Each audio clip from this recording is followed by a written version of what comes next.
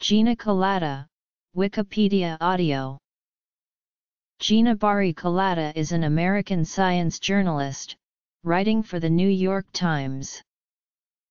Kolata was born Gina Bari in Baltimore, Maryland. Her mother, mathematician Ruth Aronson Bari, was of Jewish descent. Her father, Arthur Bari, was a diamond setter of Italian heritage. One of her sisters is Hood College art historian, Dr. Martha Bari. Another was Earth First. Environmental activist, feminist, and assassination attempt survivor, Judy Bari.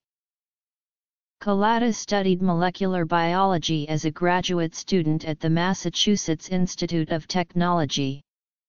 She received a master's degree from University of Maryland, College Park in mathematics.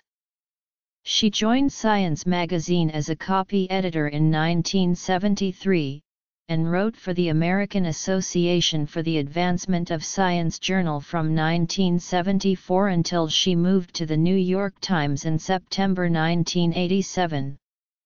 She remains a health and science reporter at the newspaper. She is a self-proclaimed exercise addict, according to a Times advertisement for itself. Kolata has taught writing as a visiting professor at Princeton University and frequently lectures across the country.